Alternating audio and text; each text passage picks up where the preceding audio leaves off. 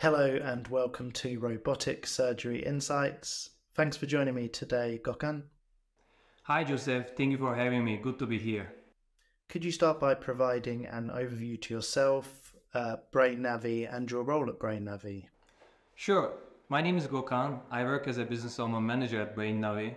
My roles and responsibilities include overseeing international expansion, commercialization, and pretty much managing day to day business owner activities globally. Brain Navi is one of the leading surgical robotics companies in Taiwan and having a promising product portfolio including its flagship product NaoTrac, which is a neurosurgical navigation robot. And which clinical applications can NaoTrac be used in?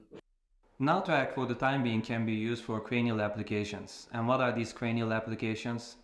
Um, biopsies, tumor ablation, endoscopic surgeries, EVDs, ICH, um, DBS, ECG, so in a way, it's a delivery platform where you might want to insert a chip, electrode, or even a drug as a targeted therapy. So all these uh, applications are possible. It comes with one of the most sophisticated advanced planning, navigation, and guidance function. And with that, it is assisting neurosurgeons in these challenging brain surgeries. And could you talk a bit about the benefits of using a robot in neurosurgery? With NaoTrac, we aim to make surgeries more precise more efficient and safer than ever before. Precision is the key leading to good surgical outcomes in neurosurgery.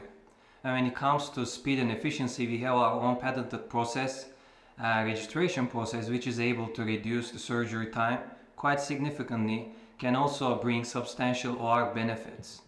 We do have a robotic arm that is of course minimizing the human error in the process and can also reduce the surgeon fatigue in the long term. So all those things that I listed here uh, are, in a nutshell, the benefits of robotic neurosurgery. Um, just to give you a tangible example, uh, our robotic arm, while navigating inside the brain, is able to move from one point to another uh, at the speed of as slow as 0.5 millimeter per second.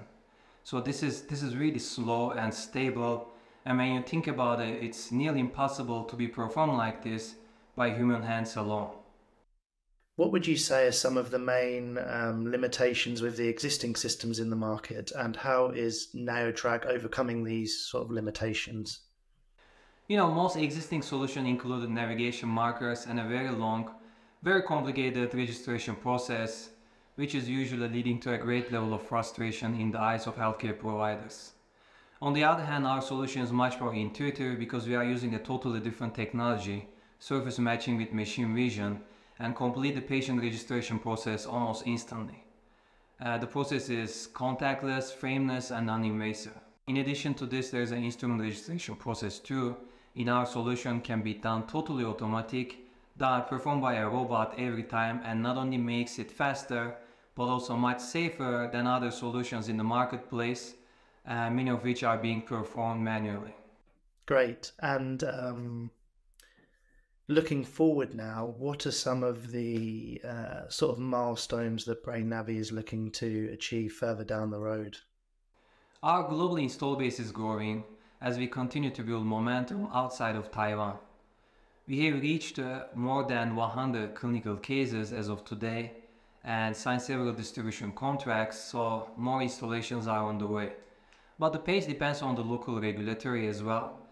Um, another factor that's affecting is uh, because we are applying to a limited market release strategy in many of the markets that we enter, meaning that we are being very selective in identifying the key distribution partners that we want to work with in order to make sure that we are providing excellent clinical and service support in the field for those hospitals and surgeons, especially for uh, early adapters and, and first-time adapters.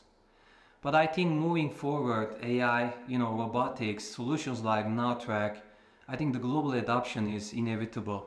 And it's just a matter of time. So our job here is to make sure that we are accelerating this, uh, impacting positively uh, as we move forward. And overall, I'm, I'm quite optimistic.